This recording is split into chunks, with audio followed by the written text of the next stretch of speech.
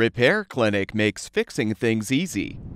With millions of replacement parts available on our website and the help you need to do the repair yourself.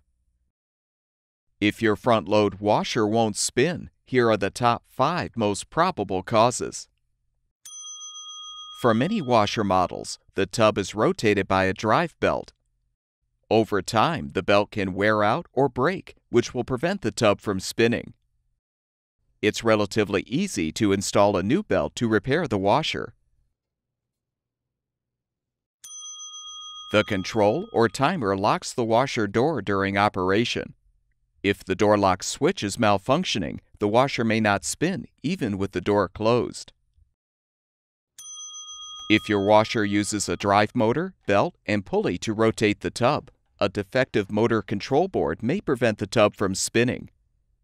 While the control board cannot be easily tested, you can inspect it for signs of burning or a shorted out component. Some models have a stator and rotor that interact to create a strong magnetic field which causes the tub to spin.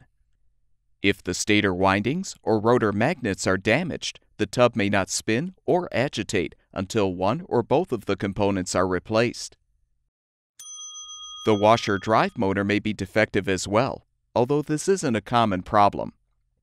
If the drive motor hums but fails to run, runs noisily, or doesn't turn freely, you should replace it with a new one.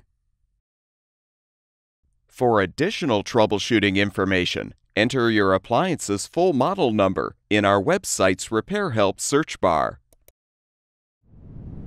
At Repair Clinic, we make fixing things easy.